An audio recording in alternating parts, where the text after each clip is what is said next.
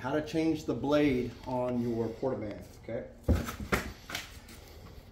Basically, you have the small portabands or the large portabands. So this would just be the large version. The small ones are those little minis, right?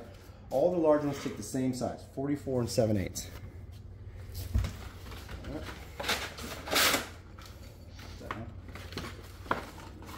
One. This better be a good blade.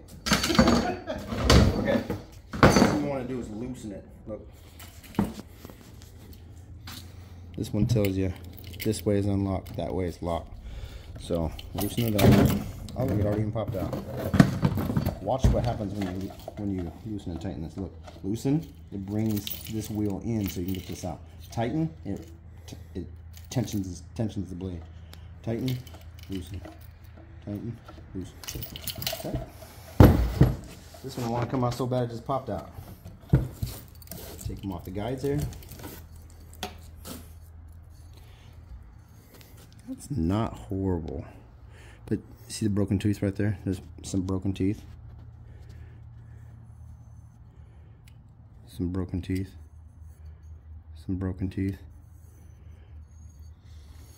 So. Okay, so this, is, this is what on the loosen stay. I bend it here.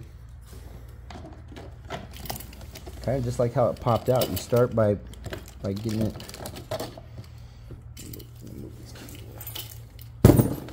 This is the, this is kind of the key though. Just kind of bend it here and get them in the guides. In the guides now.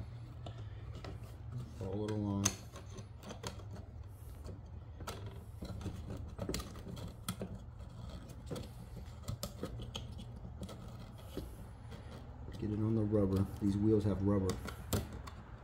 You can order these too. Sometimes these will crack and break. These little rubber feet. It's the friction of the rubber on the blade.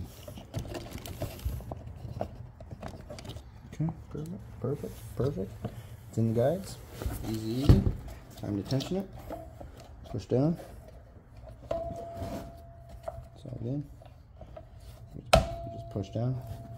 It's ready to go.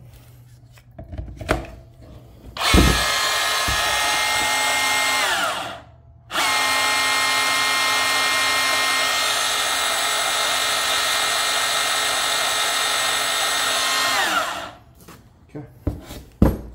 Perfect.